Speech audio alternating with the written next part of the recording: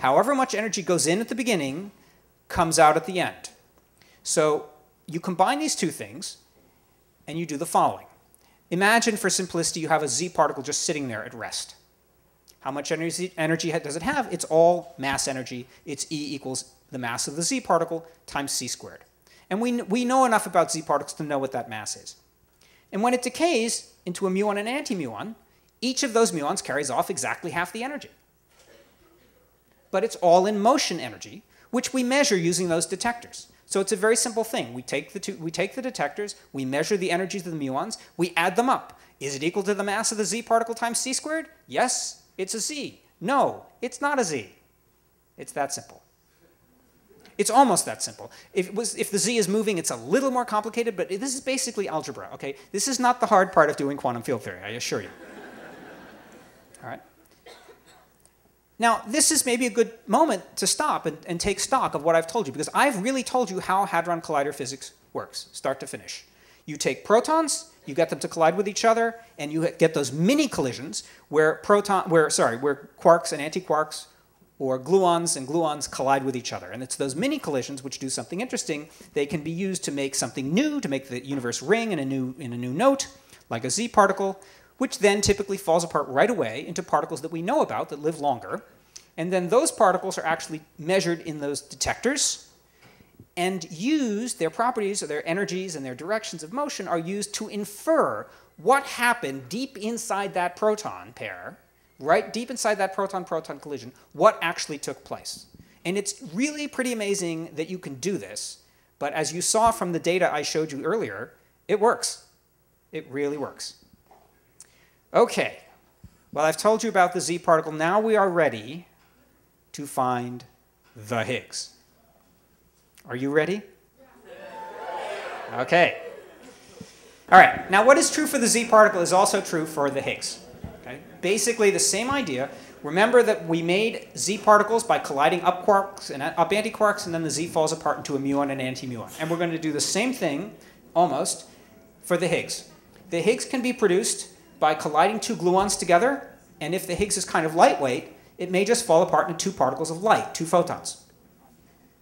Or if it's a little heavier, um, it might first fall apart into two Z particles, and then the Z particles themselves decay, and you end up with two muons and two anti-muons, for example. Now, this is a little hard to see, but it's pretty cool. Because in the CMS detector, on September 24th of this year, an event was seen of this form. It has two muons and two antimuons, and you can even check that each pair comes from a Z. So, is that a Higgs boson? I don't know. Maybe. Um, probably not, because Higgs particles are rare, and there are other ways to make two Z particles. You can just make them directly. So I can't tell you by looking at one collision that looks like that whether it's a Higgs particle or not. So how are we going to figure it out? Well, we'd like to bring in the same team that was so successful for the Z particle and set them to work. And they would be able to do that except there's one problem, which is that we don't know the Higgs particle mass yet. So we can't play exactly the same trick. But we can play a similar trick. It's just that one collision is not enough. We need to see many collisions like that. So let me explain how that's going to work. Now what I'm showing you here is simulated data. We don't have this data yet, but this is what it's going to look like. The trick is, well, I should say, uh, I, okay, this is, let me say it better. Okay. This is the type of thing that we may see. And in fact, part of the fun is we don't actually know exactly how the Higgs particle decays. We don't know what it decays to. It may decay in this way or that way. There, we got to cover all these different possibilities. But one of the things people are going to do is the following. They're going to take all of the collisions that look like the one I showed you, two muons, two anti-muons, and they're going to add the energies up just the way we did before for the Z, and they're going to take those energies and they're going to plot them in a graph where if you add up the energies and it corresponds to a Higgs particle, a, putative Higgs particle of mass 170 whatevers, they'll put it on this plot here at 170. And if they make that plot and it looks like this, just sort of random that tells them that mostly what they're seeing is that other process where you just make two where you just make two muons and two antimuons directly without ever making a Higgs particle along the way. But if instead they see, in addition to that random stuff, they see a big peak in the middle. Okay.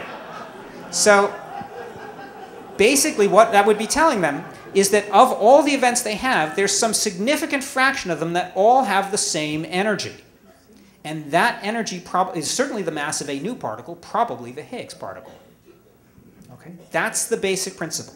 You look for a peak over what is otherwise random. And that tells you, first of all, what the Higgs mass would what the Higgs mass is, and it tells you that the Higgs is decaying in this particular way, and it even tells you how often you're making it, right? The height of the peak tells you something about that. Okay. So that's progress. Now, this is something that might happen this year or next. Okay? This is really coming. Um, in fact, the Higgs will probably not be discovered quite the way I've described because people will throw every technique they have. So it'll be discovered in some very sophisticated way, combining different techniques, lots of different processes. Okay, it'll be complicated. But the basic principles are not that, that different from the one I've shown you here. And the clincher will be a plot like this. If instead the Higgs is lighter, and can decay to two photons and not to two z's, then it will be a much more difficult process. It will take much longer, but the principle will be the same. We will be looking over a very large random background for a very tiny bump, which is the signal of a Higgs particle. And that will take at least two years. Maybe it will have to wait until the LHC is upgraded to, let's say, four or five years from now. So this is not a quick thing. And on top of that, if there's more than one Higgs particle, it could take longer still because you may have many things to look for and it may take a while. So this is a process which could take one year, it could take seven or eight years. And there's just no way to know. We, all we can do is run the experiment and find out. Now, now you know how to find the Higgs, but I want to remind you, that's not the goal, right? That's the first step. Because the goal is now to understand the Higgs field. And to do that, we will have to study this particle in great detail. We will have to make many of them and watch how they figure out all the different ways that they decay, figure out how often we make them and, and in which ways. All of that will have to be studied, and it will take the decade and probably beyond. This is a machine that's going to be around for the long haul.